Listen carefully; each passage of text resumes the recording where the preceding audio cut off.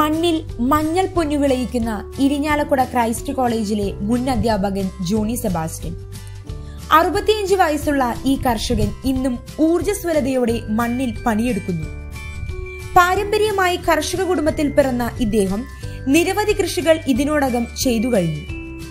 എന്തുകൊണ്ടാണ് മഞ്ഞൾ കൃഷി ചെയ്യുവാൻ മുന്നോട്ട് വന്നത് എന്ന ചോദ്യത്തിന് ഇരിഞ്ഞാലക്കുട ഡോട്ട് കോമിനോട് അദ്ദേഹം തന്ന മറുപടി ഇങ്ങനെയായിരുന്നു. ഇരിഞ്ഞാലക്കുട മുനിസിപ്പാലിറ്റിയിൽ മഞ്ഞൾ കൃഷി ചെയ്യണമെന്നും ഇവിടെ ജനങ്ങളെ ഈ മണ്ണിൽ മഞ്ഞൾ വിളയുമെന്ന് ബോധ്യപ്പെടുത്തുവാനും കൂടിയാണ് താൻ ഇത്തവണ മഞ്ഞൾ കൃഷി ചെയ്യുവാൻ തീരുമാനിച്ചതെന്ന് അദ്ദേഹം പറഞ്ഞു. ഒരു ചെറിയ മഞ്ഞൾ തണ്ട് ഈ മണ്ണിൽ കുത്തിയിട്ട് തനിക്ക് മണ്ണിൽ നിന്നും തിരികെ ലഭിച്ചത് അഞ്ച് കിലോ തൂക്കം വരുന്ന മഞ്ഞൾ പിടികളാണെന്ന് അദ്ദേഹം കൂട്ടിച്ചേർത്തു. ഏകദേശം പത്തു മാസത്തിനുള്ളിലാണ് തനിക്ക് മഞ്ഞൾ പൊന്നു വിളയിക്കാൻ കഴിഞ്ഞതെന്നും ഇതിൽ നിന്നും തനിക്ക് ലാഭം മാത്രമാണ് ലഭിച്ചതെന്നും അദ്ദേഹം പറഞ്ഞു. ചാണകവും ചാരവും ചേർത്താണ് ഈ കൃഷിക്ക് വളമായി ഉപയോഗിച്ചത്. പ്രതിഭ ഇനത്തിൽപ്പെട്ട മഞ്ഞളാണ് വിളയിക്കുന്നതെന്നും അദ്ദേഹം കൂട്ടിച്ചേർത്തു. കൂടാതെ ഇതേ കൃഷിസ്ഥലത്ത് തന്നെ ഏത്തവാഴ കൃഷിയും ഇതോടൊപ്പം ചേർന്ന് ചെയ്യുന്നു. താൻ എന്തൊക്കെ കൃഷി ചെയ്തിട്ടുണ്ടെങ്കിലും തനിക്ക് ഇതുവരെയും നഷ്ടം വന്നിട്ടില്ല എന്നും കോവിഡ് കാലത്താണ് തനിക്ക് ചെറിയ തോതിൽ ഇടിവ് സംഭവിച്ചതെന്നും ഈ കർഷകൻ പറയുന്നു.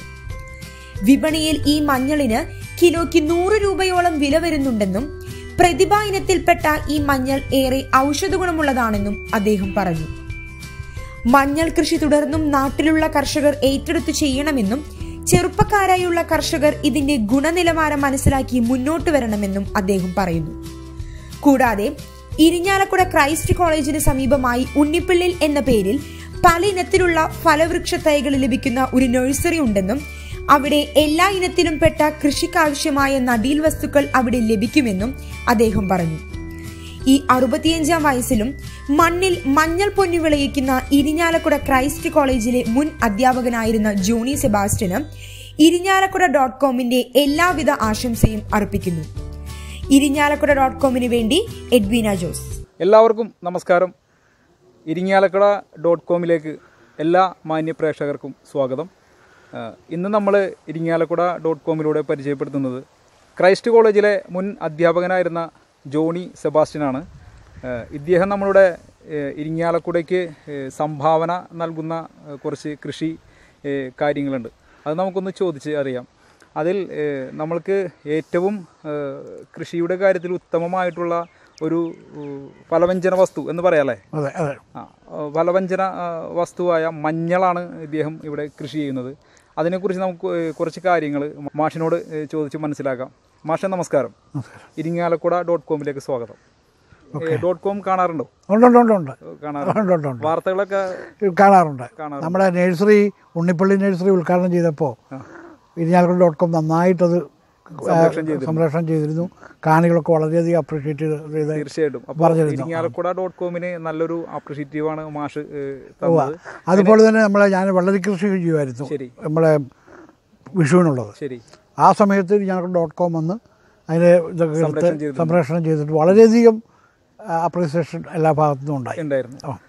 ഇപ്പോൾ അതുപോലെ തന്നെ ഇപ്പോഴും ഞങ്ങൾ മാഷിന്റെ മുമ്പിൽ നിൽക്കുകയാണ്. ഓക്കെ. ഇത് ഈ മഞ്ഞൾ കൃഷി മാഷ് ആദ്യമായിട്ട് ചെയ്യുന്നതാണോ? ഇത് ഈ വർഷം ഞാൻ ആദ്യമായിട്ട് ചെയ്യുന്നത്. ആദ്യമായിട്ട് ചെയ്യുന്നത് പറഞ്ഞാൽ പൂർവികരായിട്ട് പല ഫാദറൊക്കെ ചെയ്തിരുന്നു. അതൊക്കെ ചെറുപ്പം മുതലേ കണ്ടുപിടിച്ചിട്ടുണ്ട്. അതുകൊണ്ടാണ് ഇപ്പോഴും ഇവിടെ ഈ ഇത് ഞാൻ പ്രത്യേകം ചെയ്യാനുള്ളൊരു കാരണം ഇരിഞ്ഞാലക്കുട മുനിസിപ്പൽ ഏരിയയിൽ ആണ് നമ്മളിപ്പോൾ നിൽക്കുന്നത്. ശരി.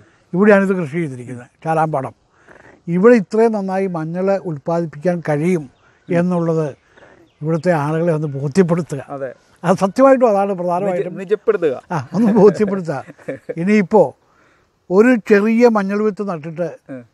നാല് കിലോ വരെയുള്ള ചൂടൽ ഒരു നാല് കിലോ വരെ കിട്ടിയിട്ടുണ്ട് ഇപ്പം. ഇവിടെ പറിക്കുന്നത് ദിവസത്തിനുള്ളിലാണ് ഇങ്ങനെ ഇതിൽ ഇതിപ്പം ജൂൺ മാസം ആദ്യം നട്ടു. മാസം വേണ്ടി വരും? ഏഴ് രണ്ട് ഒമ്പത് മാസമായി ഇപ്പം. ഒമ്പത് മാസം. ഒരു വർഷം കാലയളവിൽ ഏതാണ്ട് പല്ല അത്രയും വേണ്ട.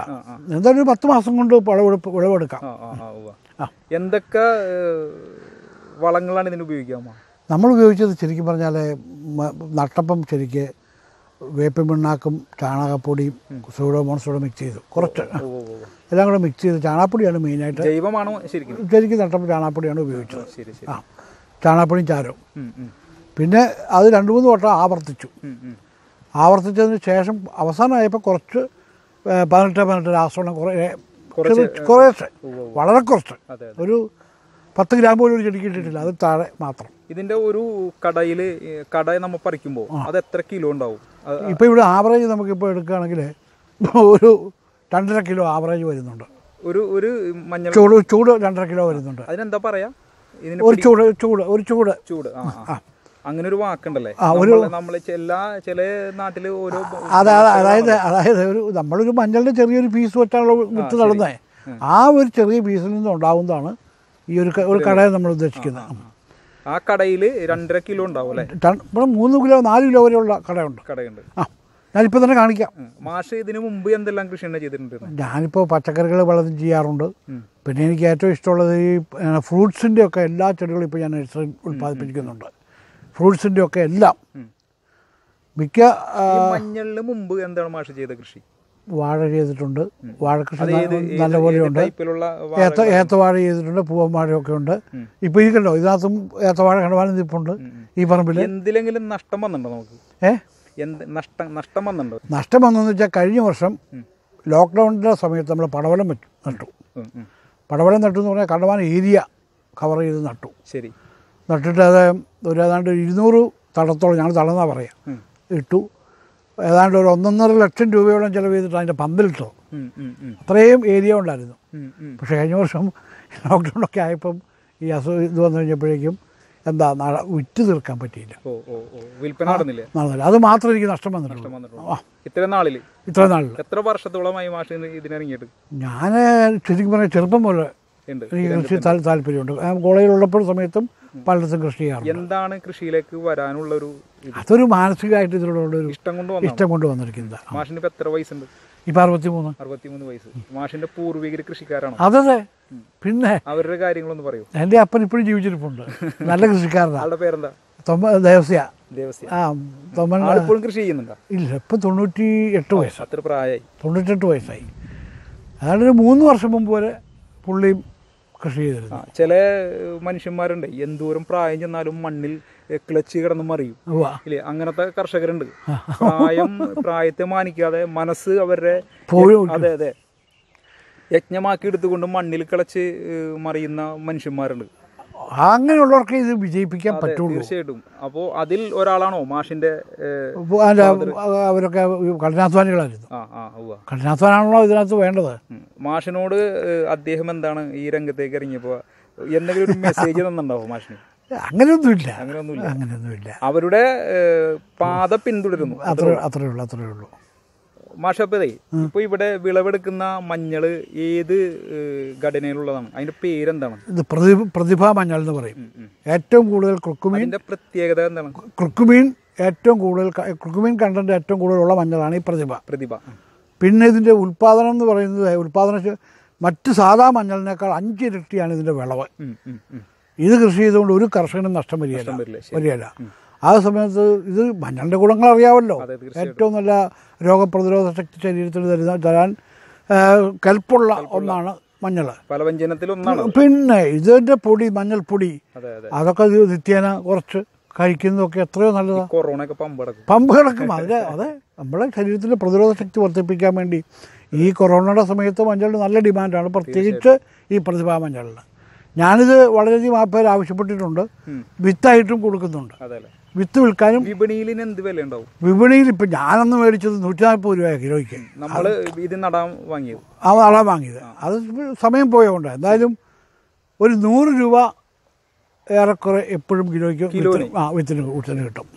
ഞാനിപ്പോൾ ഇതേ വിപ്പനയിലെ വിൽപ്പനയിലെ വിത്തായിട്ട് കൂടുതൽ കർഷകരിൽ എത്തിക്കുക എന്നുള്ളതാണ് എനിക്ക് താല്പര്യം. ഓ ശരി ശരി. വിത്തായിട്ട് ഇത് കൂടുതൽ കർഷകരിൽ എത്തിച്ച് ഇത് നമ്മുടെ നാട്ടിൽ ഒരു നല്ല വിളവ് തരുന്ന ഒരു മഞ്ഞളിന്റെ ഒരു വെറൈറ്റി. വെറൈറ്റി അത് അങ്ങോട്ട് പോപ്പുലറൈസ് ചെയ്യുക എന്നുള്ളതാണ് ഉദ്ദേശിക്കുന്നത്. അപ്പോൾ ഇതൊരു വികസനമായിട്ട് തന്നെ കൊണ്ടുവന്നിരുന്നു അതെ അതെ തീർച്ചയായിട്ടും. ഇത് ഇതൊക്കെ കർഷകർ സാധാരണ നമ്മുടെ ചെറുപ്പക്കാർക്കൊക്കെ ഇത് പോകുന്നൊരു അല്ല രണ്ടിൽ നിന്ന് പോവില്ല. പോവില്ല. ഇതൊക്കെ നമ്മളിപ്പം പ്രത്യേകിച്ച് ഇപ്പോൾ കേരള സമൂഹം ശരിക്കും ഈ കൃഷിയുടെ പല കുറേ കാര്യങ്ങളൊക്കെ അങ്ങനെ പോണില്ലേ? അതൊക്കെ അതൊക്കെ ഇപ്പോൾ വീണ്ടും റിവൈവ് ചെയ്തുകൊണ്ടിരിക്കുക. ഇത്രയും നേരം നമ്മുടെ ഒപ്പം ഉണ്ടായിരുന്നത് ഏഹ്, ഇരിങ്ങാലക്കുട ഡോട്ട് കോമിലൂടെ നമ്മളിപ്പോൾ പരിചയപ്പെട്ടത് ജോണി സെബാസ്റ്റ്യനാണ്. പ്രതിഭ എന്ന മഞ്ഞൾ മണ്ണിൽ കൃഷി ചെയ്ത് വിപണിയിലെത്തിക്കുന്ന ഒരു കർഷകൻ. അറുപത്തി അഞ്ച് വയസ്സ് അറുപത്തിമൂന്ന് അറുപത്തി മൂന്ന് വയസ്സുള്ള ഒരു മഹാനായ കർഷകൻ നമ്മുടെ ക്രൈസ്റ്റ് കോളേജിലെ അധ്യാപകനായിരുന്നു ഇദ്ദേഹം. അപ്പോൾ ഇനിയും എന്താ പറയുക ഇനിയും മുന്നോട്ടുള്ള നാളുകളിൽ മണ്ണിൽ കിളച്ച് വിളവെടുക്കുന്ന പലവ്യഞ്ജനങ്ങളും പല വ്യഞ്ജനങ്ങളും അതുപോലെ തന്നെ പച്ചക്കറി വിഭവങ്ങളും ഇദ്ദേഹത്തിന് നാടിന് വേണ്ടി കാഴ്ചവെക്കുവാൻ എല്ലാവിധ ആശംസകളും. ഞാനിപ്പോൾ ഒരു നേഴ്സറി നടത്തുന്നുണ്ട് നമ്മുടെ ക്രൈസ്റ്റ് കോളേജിന്റെ അടുത്ത്. ഉണ്ണിപ്പള്ളി ഉണ്ണിപ്പള്ളി ഉണ്ണിപ്പള്ളിയിൽ ഉണ്ണിപ്പള്ളിയിൽ നേഴ്സറി എന്ന് ശരി പറഞ്ഞു ശരി ശരി. ശരിക്കും പറഞ്ഞാൽ നേഴ്സ് ആ നേഴ്സറിയും കൂടെ കൂടി അതൊരു അതിന്റെ ഒരു ജനങ്ങൾ ജന- അതിനെക്കുറിച്ചുള്ളൊരു അറിവ് ജനങ്ങൾക്ക് കിട്ടുക. അതും നമ്മളൊരു ലക്ഷ്യമാണ്. ഇപ്പം ഞാൻ കണ്ടമാനം ഈ വർഷം കവുങ്ങിപ്പം അപ്പോൾ എന്തായാലും ഈ മാഷ് പറയുന്ന ഉണ്ണിപ്പിള്ളി. ഉണ്ണിപ്പിള്ളി നഴ്സറി ഉണ്ണിപ്പിള്ളി നഴ്സറി അതിന്റെ പ്രത്യേകത എന്താണ്? നല്ല നല്ല തൈകൾ മാത്രം. ക്വാളിറ്റി പ്രോഡക്റ്റ് അവിടെ ഉണ്ട്. അത് ഞാൻ ഉറപ്പില്ല എല്ലാ ഉറപ്പ് എല്ലാ പച്ചക്കറി വിഭവങ്ങളുടെ തൈകളാണ്? തൈകളല്ല. ഈ പച്ചക്കറിയുടെ തൈകളെക്കാൾ ഉപരി ഫലവൃക്ഷ തൈകൾ ഫലവൃക്ഷ തൈകളാണ് ഇപ്പൊ കൂടുതലായിട്ട് നല്ല ക്വാളിറ്റിയുള്ള തൈകൾ. ഗ്യാരണ്ടിയാണ് അത്രയും നല്ല ആ ഒരു നഴ്സറി കൂടെ നമ്മൾ ഈ പ്രോഗ്രാമിൽ ഉൾപ്പെടുത്തും. ആ. അപ്പോൾ അതെന്തായാലും ഈ ഡോട്ട് കോമിലൂടെ ഞങ്ങൾ നിങ്ങളെ പരിചയപ്പെടുന്നതായിരിക്കും. അപ്പോൾ ജോണി സെബാസ്റ്റ്യൻ മാഷിനെ എല്ലാവിധ ആശംസകളും. ഈ കൃഷി ഇനിയും ദൃഢതയോടെ മുന്നോട്ട് പോകുവാനുള്ള എല്ലാവിധ ആശംസകളും ഇരിങ്ങാലക്കുട ഡോട്ട് കോമിന്റെ പേരിൽ അർപ്പിക്കുന്നു. നന്ദി സന്തോഷം സന്തോഷം.